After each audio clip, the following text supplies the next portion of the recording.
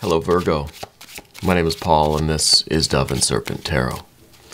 This is going to be a general reading, so try to be open and receptive to whatever may come through during our time together. I am merely the messenger, and I ask that you connect directly with each of these cards and use your own intuition to take you beyond the details that I might provide. And if there is anything you need me to pray over or meditate upon, or send positive energy toward, please let me know. Right? And remember, Virgo, that the most important part of any tarot reading is you. And we start with this 10 of Wands. That is a lot of energy, it's a lot of weight on you, right? I kind of feel like we had the 10 of Wands for the last Virgo reading. Um, I kind of feel like you really need to. Uh, you know, focus on what needs replenishing in your life. Okay? With the 10 of, of Wands here, I feel there's a, a depletion happening. Let's put it into some context. There we have the restoration. Yeah, that's the Ace of Cups. That kind of confirms uh, what I was talking about. That we've we kind of feel that maybe maybe we're, we're being overworked, right?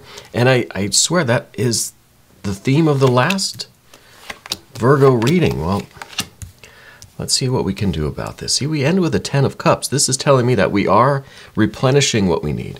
We are restoring ourselves. Um, and let's see maybe if we can find the path from this ace to fulfillment, completion, right? Perfect happiness here at the end. But let's first select our mystery card. This is one card randomly from the Smith Waite Tarot. We'll put it right here, Mr. Tao, the yin yang duck, right there on top. And we're not going to look at that card until the very end, so don't even ask. Okay? And we'll see how that might tie everything together and give us the confirmation we need at the end of the reading. Okay? But we are doing something a little different. Uh, in an effort to make this channel a little bit more interactive, I'm I, wa- I want to see if we can raise our vibrations, if we can collectively tap into our intuition and start discerning this mystery card together, right? So, if at any point during the reading you get an idea, a sense, a feeling of what that is, I want you to put your prediction into the comment section, all right? At the end, we'll have a moment of stillness. We can all give our final answers, and then we can see how accurate we, we become over time. I think we'll see that we might um, get more and more accurate, right? But first, let's take a look around the room. Major arcana, we have two of them. And interesting with these two, looking at them side, side by side, we have the Lust or Strength card and we have the Star card. They rather look the same, don't they? The figures have a rather similar uh, gesture, similar aspect. That the arms even are in similar um, positions. I, I never really noticed that, and that's going to be interesting when we come to talk about these major arcane energies. These are the spiritual energies. It might be kind of a the creative spirit within, the creative spirit without, right? Maybe we we are trying to reach deep within ourselves and pull out our magic, our creativity, and we're also trying to reach up to the stars and pull the divine energy down, right? Kind of a maybe an evocation invocation kind of uh, thing here. That's very interesting that it's they are so similar. Okay, uh, fire energy. We do have some with the ten, and that's the majority of the. That's all of the fire energy. Uh, the lust or strength card is also some fire, but as far as the wands go, I feel like maybe we're feeling depleted. Maybe our creative, magical energy is running a little dry or it's getting a little thin right? We need restoration. And in order to restore ourselves internally, maybe we need to open ourselves up and um, receive this divine energy from the outside, right? Well, let's see. For water, we do have these three water cards. We have a little bit of air, and then we've got our earth energies here. So it is, uh, you know, sort of balanced. There's a little bit of everything, I guess. But there seems to be um, an extreme of fire. This is a, a raging fire that I think is starting to kind of fizzle out now, and we're looking for a way to restore that. All right. Um, let's see. Let's. Well, gosh, yeah. I, let's talk about the 10 and the ace here. Because I, I kind of feel like you've been very focused on um, your work, your projects, your creativity, your your efforts, right? I almost feel that you've not taken a break since the last reading, right? Maybe that's why I'm kind of remembering this energy from last time. I feel like we've just been going and going and going and going. Okay. And I, I'm kind of getting this feeling like we are realizing painful truth here, right? Maybe, uh, maybe finally being forced to acknowledge that we need a little time, that we have to maybe um, take a step back, right? The Ten of Wands sometimes to me indicates the need to delegate, the need to share the load, right? Or even for us to put our stuff down and just rest for a while, catch our breath, so to speak, catch our fire again right? And then we can pick up our stuff and we can go again. Um, it's almost like we have to we have to put down what we're carrying so that we can receive the spiritual gift. That we can receive the divine. I have to put this stuff down so my hands are free, right? To kind of catch the, the vibe that's coming down. So I think that we're occupying ourselves with a heck of a lot right now. And it is this idea that we, um, we need to kind of put it down, delegate it, right? Take ourselves out of the foreground, put ourselves in the background. Open up our hands so that we can receive the divine gifts, the blessing. We can receive this Ace of Cups right? We might be holding a cup like a spiritual uh, alms bowl, and as the star card depicts, um, that energy is coming down, right? And then we're able to heal and restore, rejuvenate, recuperate, and then we can extend ourselves outward again. Okay. Um, so I, am getting that vibe anyway with the 10 here and with the ace. I think it's a great time to focus on what needs restoring, right? Your health, your finances, uh, your, your creative energy, your passion, your enthusiasm and confidence, your magical abilities. Whatever it is that we're kind of, we're depleting through our work, through our efforts, that we know needs to be restored. Okay. Um, this this Knight of Cups in the background here. This is kind of in our past or what's behind us. Um, I feel like there's I feel like there's someone close to you. They may be a Cancer sign person. They may be a water sign person. It could be that they're an Aquarius person. though I, I don't I don't think so. I think they, they have a more of this water energy. And I feel like this is uh, kind of a clash. We're, we're kind of we're at odds with this this person, right?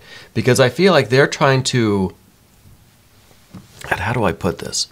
Um, they're almost bringing you a glass of water and saying, "Drink it," you know, and you are kind of refusing right? No one wants someone that's that's pushy. This feels like someone who's very pushy. They may have your best interest at heart. They may be telling you, "Sit down, rest. Sit down, rest."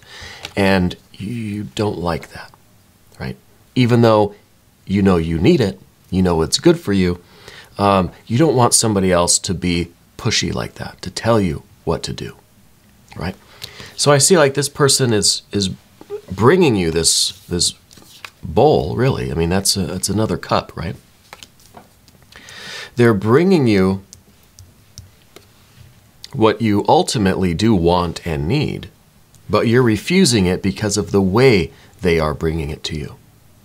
That they're kind of flying in your face, forcing it, shoving it right in your face. Nobody likes that, right? So I think we're kind of rejecting this, and this is putting us at odds with someone that's probably a loved one, um, maybe a spouse, maybe a friend or family member or something. Okay. Um, and I think that really is just adding to the, some of the frustration that we feel. But this darn Nine of Swords. Now, it's the Nine of Swords. We do need the Botanical Inspirations uh, card, so we're going to pull that out. And we use these anytime we get basically any swords. We get a 3, 5, 7, 8, 9, 10 of swords. Um, we're going to do that because the Nine of Swords here, this is something that's within us. It's like we we know, but we don't want to admit, right? We it's almost a pride thing, right? And of course, we get that with some of this Leo energy with that lust or strength card here. That we we know they're right. We know we need to stop and rest and replenish and reconnect maybe with our Ace of Cups. We know we need the Ace of Cups, whatever this exactly is. But we're kind of stubborn. We kind of don't want to admit it, right? So the Nine of Swords down here beneath everything, this is us not wanting to admit it because we feel like it's going to disrupt the flow of energy. We feel like it is going to um, it just shake things up too much. You know, that it'll cause a delay, it'll cause a disruption, it'll create a fuss, and we don't want to do that. Right? Um, I feel as if you're someone who kind of silently suffers, you know? Let's do our inspiration card. This is the Magnolia, Nobility and Self-Esteem. Interesting that we have those two words here nobility and self esteem. There is nothing noble in being superior to your fellow men. True nobility lies in being superior to your former self. Ernest Hemingway said that, apparently. Uh, it, but the nobility and self esteem. See, the Leo is that nobility. And the Nine of Swords is that self esteem, or what is kind of what might be threatening our self esteem. Okay? Um, so, this is, to me, this kind of suggests that look, we need to take the help that is being offered. We need to take whatever this, if someone's bringing us the medicine or the elixir or the glass of ice water, we need to take it. Someone is offering us the opportunity to go take a day off, go rest, and you know, or whatever. We should we should accept that, right? Um, and I feel like this is I feel like this is a pretty poignant card here. There's nothing noble in being superior. True nobility lies in being superior to your former self. So it's kind of this idea that we have to over overcome um, kind of our own pride, really, in a way, you know, in order to admit this to ourselves that, look, things are getting a little too tense or there's a little bit too much friction. I'm getting too drained. I need to go take a rest, right? It's not um, with this lust or strength card. It's not. We're not. We're not admitting weakness. We're not in any kind of a, a weakened position right? There's a certain strength in that, in knowing when uh, when to take that break, you know. So in the future, we've got this lust or strength card, and this I think is the regaining of your inner strength, confidence, your magical abilities, right? We are drawing from that deep well. We're pulling that Ace of Cups right down, right from within ourselves, right? This is, I think, this is kind of the interior landscape, whereas the star card is the exterior landscape. And um, and to me, there's a simple dichotomy here, uh, whether our true strength comes from within us or whether it's something that's coming from outside of us. Of course, the star is in the position of what we don't want. We don't want to be reliant or dependent on anybody else. That's also another implication of the Ten of Wands. Sometimes the Ten of Wands can talk about codependence. See, like we need somebody to carry half the load for us because we don't feel we could do it ourselves. Well, that's not you. You've got this nobility, this pride, this sense of, I can do it all myself. You know, that I have everything I need within me. I don't need anything from outside. Uh, and that's why I think we're rejecting the star energy because we don't, we don't yet feel ready to accept help from outside. Okay, from others, from perhaps this one particular water sign, maybe person. But ultimately, up here, we've got the Princess of Pentacles. Ultimately, we, we have goals, we have aims. Um, we are trying to get some stuff done. We have, you know, there are, are things that we're trying to do in life. And this has to remain our ultimate guiding force, right? That if we are a little bit too, too proud to ask for help, are we really are we really keeping our goal as kind of top priority? Or is it merely that we don't want to have to swallow our pride or that it's going to injure our self esteem a little bit? Nah, this might not be a very popular reading. And I'm okay with that. Um, because I feel like it, it, we need to talk about this, and we can't always gloss over everything that's uncomfortable to talk about, right? So, the Princess of Pentacles. Keep your goals as the top priority and allow allow yourself to shift and adapt and realign your energies and your perspective to always keep this goal in mind. Okay? Is it going to help or hurt your goals, your progress, um, by uh, taking this this gift, this opportunity for rejuvenation, restoration, or this kind of return to health, or whatever the Ace of Cups is that's being offered to us, if we accept that glass of water, are we helping our progress or are we hindering our progress? And I think that has to be our that has to be the, the question by which we judge what we do, the decisions that we make. Okay. So we're moving to the path of the serpent and we see the four of Pentacles right at the beginning. This, it, this is us back in balance. This is us restored. This is also kind of a, an energy that says when you're sick, you just want to kind of um, isolate. This can be a very isolating energy, the Four of Pentacles. It's safety, security, stability. It is structurally sound, but it is it keeps people out right? This is a uh, sick or injured individual that doesn't want to see anybody, hides away, won't let anybody come over. People are trying to bring you some chicken soup, and you're saying no. Uh, you won't answer the door, won't answer the phone. You know, people are trying to take care of you.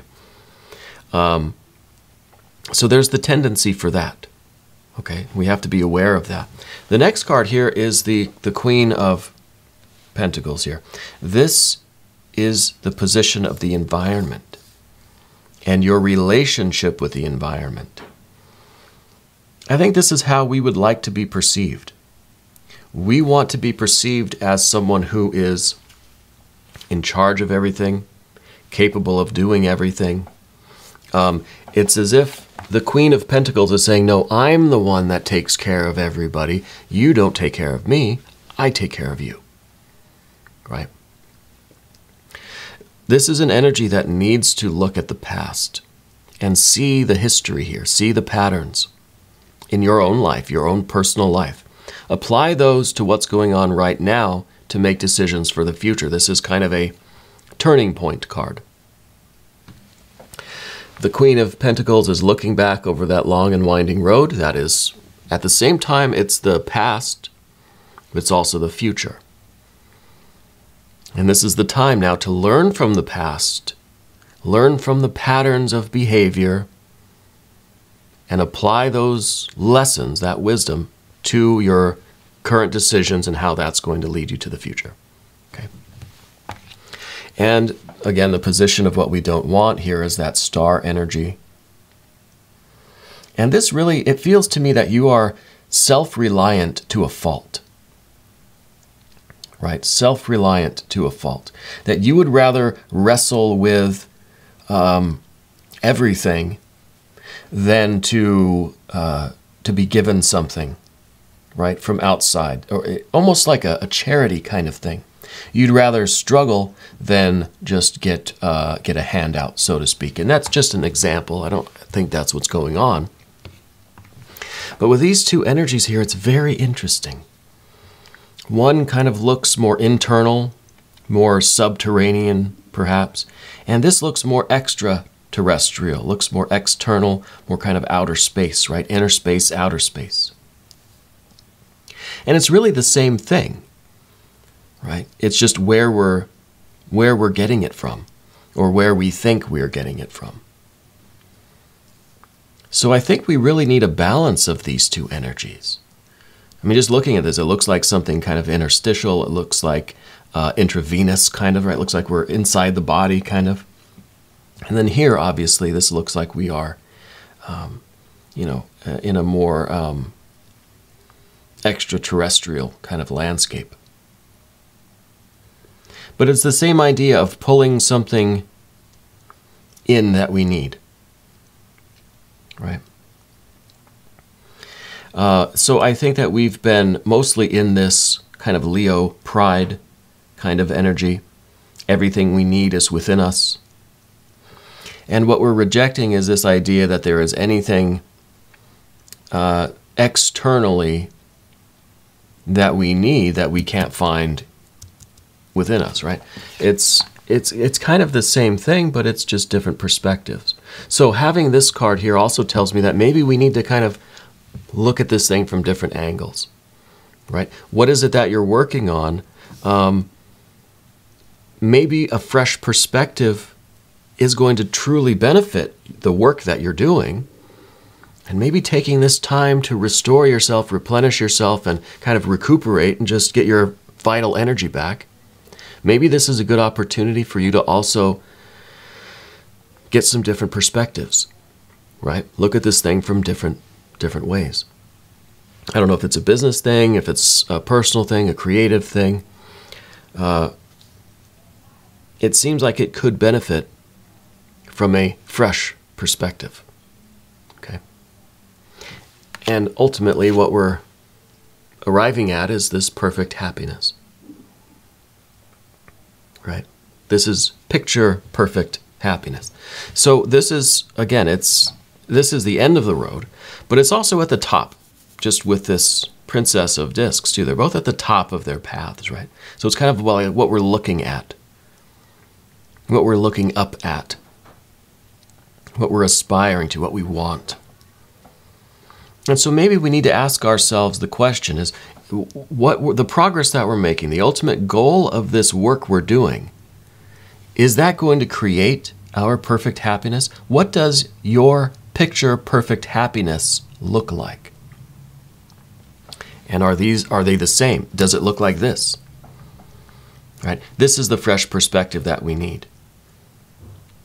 Right?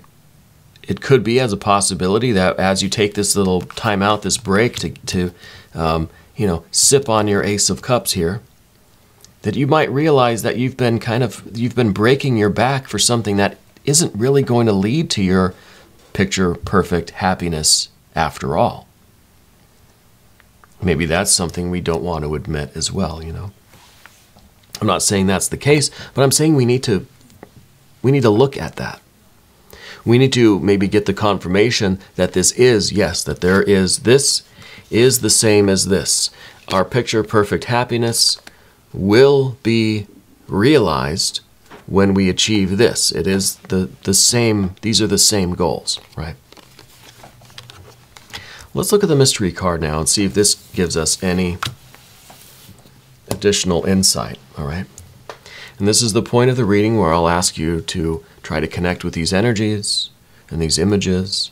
Let's see if we can predict this card Together, let's tap into our intuition. Let's tap into spirit, into source.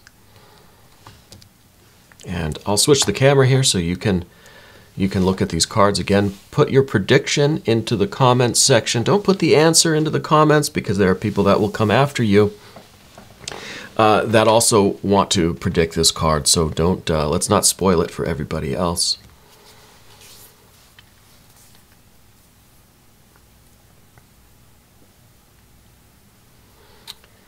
Hmm. I'm I'm kind of expecting an ace of well anything really, but an ace of swords would be good.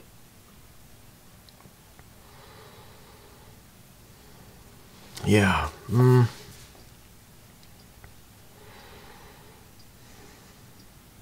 Maybe an ace of swords, maybe a, a six of cups, right?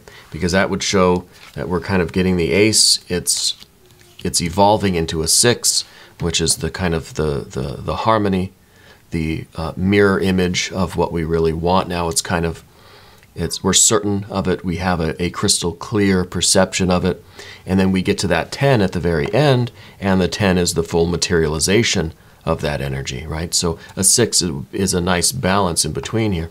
Let's see what we have. No, it's a it's a king of cups and that is air of water. Air of water. So, this to me is, well, this is us trying to live authentically, right? This is us being willing to admit, at least to ourselves, what we really need, what we really want. That water energy that we're talking about, with, especially with the Ten of Cups, our ultimate happiness. This is us getting the fresh perspective on that because there's air inside of this card. It's the air of water. Right? It's our understanding and our truth being expressed through this water energy. We're reflecting upon it, we're feeling it, we're connected with it. So this is the fresh perspective on um, on what we're doing and, and why we're doing it. Right? Why we're doing it. So I think this is a good confirmation, and this is this is really um, confirming what I was talking about earlier, where we're in this we're in this kind of restoration, this restorative, this restful period, and it's it's within this water energy that we're going to get that perspective, that certainty. We're going to come to that understanding, that wisdom, that truth of things right? It's within this water that we'll find that air, that certainty. So I think this is a very, very good confirmation card. Now we're going to do an extended reading. If you want to stick around, click either above or below in the video description. New Virgo readings every Tuesday and Saturday at 6 a.m. Chicago time. Subscribe to the channel, hit the notification bell, all that sort of stuff. Um, Virgo, I want you to remember that you are the most important part of Dove and Serpent Tarot. I thank you and I love you, and we are all in this together.